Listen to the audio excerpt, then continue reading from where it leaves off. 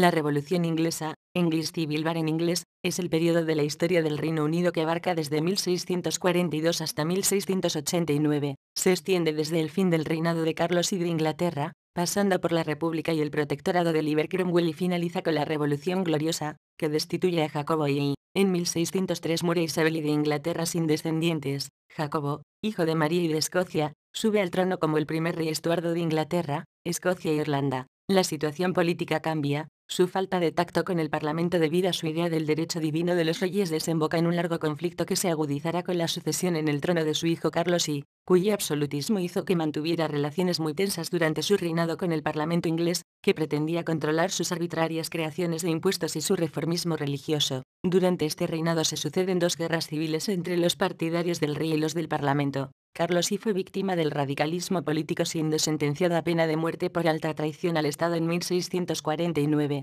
comillas.